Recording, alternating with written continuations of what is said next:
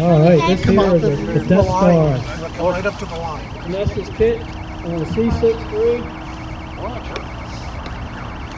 This is pretty cool the way this thing recovers. if Nobody's ever seen it. Okay, here we go with the Death Star in five, four, three, two, one. Let's stay straight.